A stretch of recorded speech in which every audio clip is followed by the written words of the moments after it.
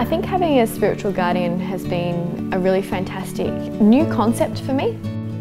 One of the things that I love the most is that it's based on a genuine, authentic relationship. If I've got a struggle, I can go to her. And if she's got one, I know that she can talk to me as well. For me personally, I believe that my devotions are the most important part of my day. And I notice the difference in my own life, in the way I interact with other people, and the way I carry myself as a Christian if I do not, as the very first thing I do every morning, seek God first. The first thing I do when I get up in the morning is to roll out of bed onto my knees and pray. And pray and dedicate that day to God. And then from there, I'll then go and read my Bible. I'll journal a lot of the prayers and the points that I'm sort of wrestling through. I'll dedicate half an hour to doing a time of study and then I'll come back and pray as well. But I believe my job is more than just a job.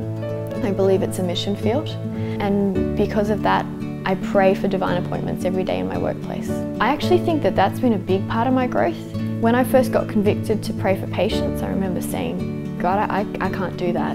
Um, it, where we live in a secular world and I got convicted that if you don't offer prayer you've already made the decision for them. That for me was something that really grew me.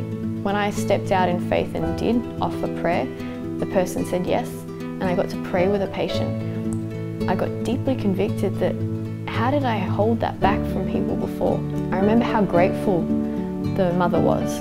She thanked me, she cried and she hugged me and all I felt was a little, still small voice of the Spirit of God going, see, it wasn't that bad.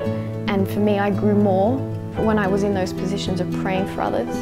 And I grew more when I pray for my colleagues, when I'm trying to witness to my colleagues, when I'm trying to pray for my patients, than I do when I'm just sitting there and getting comfortable. God had done so much in my life. How could I ever show my gratitude?